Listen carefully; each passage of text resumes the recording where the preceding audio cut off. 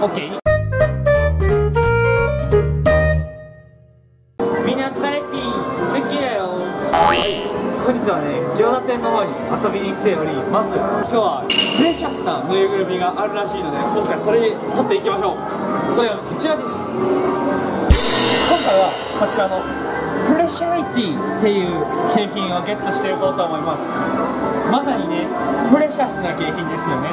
ちょっと見えるかなここ。プレゼントをコンセプトにって書いてある。だから要はもらったら嬉しい素敵なぬいぐるみっていうことですよね。なので今回この素敵なぬいぐるみをねゲットしていこうと思います。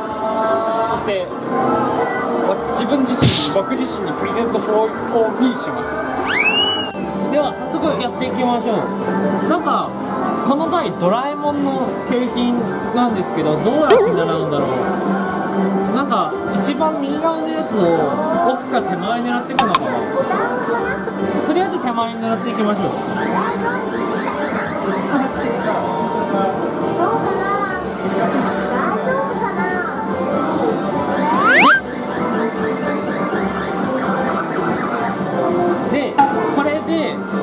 今度奥を狙ってあげるんだと思うんですよね。でそしてあら。うーん。また手前狙うのかな？さっきと同じ感じ。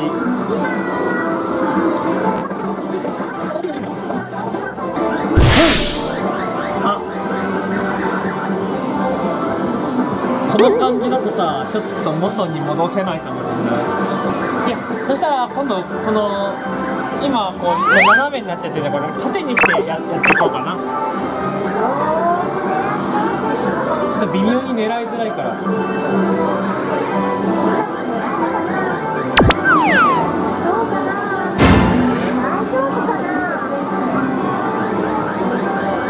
これでうまくいくと思う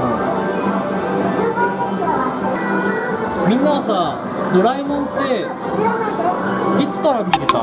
僕結構小さい頃から見てたんだけど最近さすっごい久しぶりに見たらさあれなのね。ドラえもん喋ってる人違う人になってんのね。声が結構変わっててびっくりした。結構長寿もの何十年もやってるアニメって結構声優さん変わってるからびっくりするよね。久しぶりに見たらあれ違う。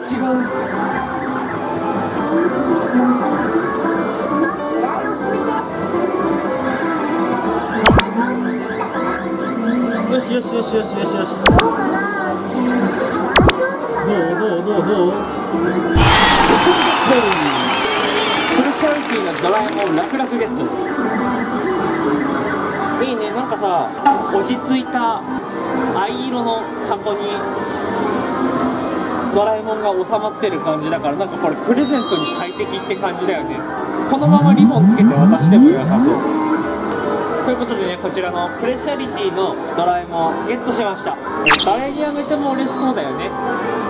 例えば向こうにプーさんとかワンマンとかコナン君とかいるから好きな景品をさんに言って変えてもらってから挑戦するといいかもね。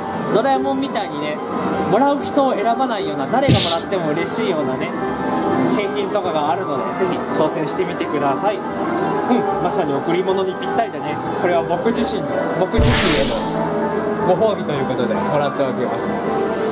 ということで今日の動画はこれで終わりになります。